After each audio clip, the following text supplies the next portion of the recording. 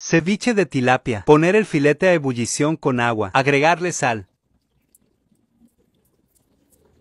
Cortar un mango del árbol. Cebolla morada. Tomate. Cilantro.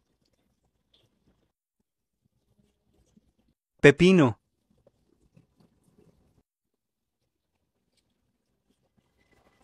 El mango que cortaste de tu árbol. Machacar el filete de tilapia. Limón. Agregarle el limón al filete de tilapia.